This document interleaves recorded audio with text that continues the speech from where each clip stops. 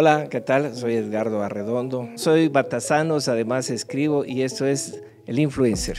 Lo que pasa es que uno como médico, para que llegues a ser médico tienes que leer. Y yo siempre fui un adicto a la lectura. Un día, este, un sujeto que vive en mi casa le dije, oye, este, ¿qué te parece si te escribo tu primer guion de, de película? Y lo que salió allá fue el, el, primer capítulo de mi primera novela que se llama Detrás del Horizonte. Mucho y un poquito preocupado por ver cuánto se está perdiendo ahorita, ¿no? Este, es muy interesante cuando analizas la escritura, tú ves los jeroglíficos en los mayas y lo que estamos viendo ahorita es ya una escritura con jeroglíficos, ¿no? Ustedes, la generación de hoy en día, todos son emoticones, signos, símbolos, ahorrarse las palabras.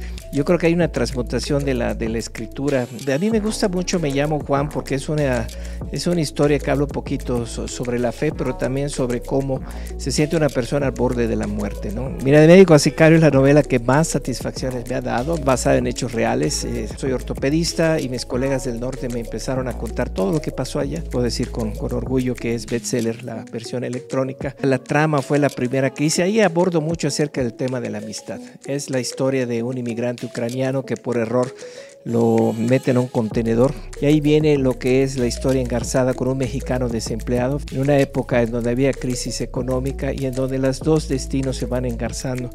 No, no sería un nombre, sería simplemente W-O-W, wow, las dos. No creo poder ver la, la literatura sin sin, sin la medicina y viceversa, ¿no? Lo que pasa es que el ser médico te da una cancha así bien, bien, bien, bien fregona, ¿no? Para en un momento determinado poder traslapar historias. Todos mis libros han sido publicados por Editorial Fellow, aquí en la Ciudad de México, librerías Gandhi, Sótano, Péndulo, entre otras. Tenemos una página que se llama Doctor Edgardo Arredondo, La Letra y los Huesos. A todos los que me están viendo, que sé que son un chorro, yo les invito a, a seguir mis libros en aquí en el Influencer.